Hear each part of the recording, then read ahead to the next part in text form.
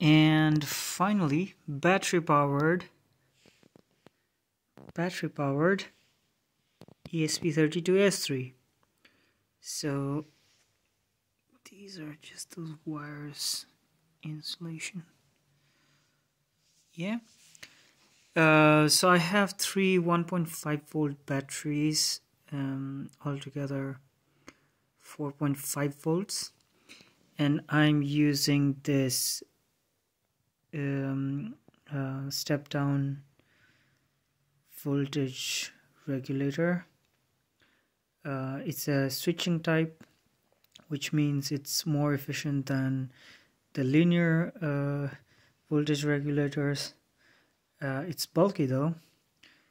Um, it has this potentiometer that you can use to precisely uh, um, select your output voltage so I have set it to um, 3.5 volts. So ESP32S3 and I think all ESP32s they are rated at maximum of 6 3.6 voltage.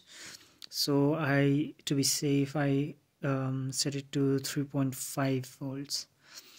Um, and uh, the uh, battery will start discharging and it can get uh, low power. For that I don't have any circuit uh, but it is possible that it will go below uh, 3.0 so it ha it has a rating of uh, ESP32s are um, 3.0 volt to 3.6 volts.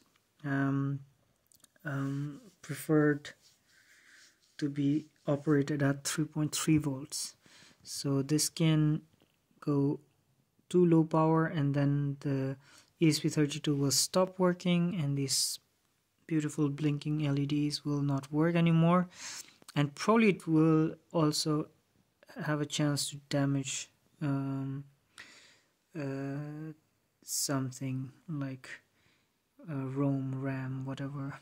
Um, and to be safe, you will also need a um, low power um, cutoff circuit or protection circuit, uh, which will just turn off once uh, the cutoff voltage is reached.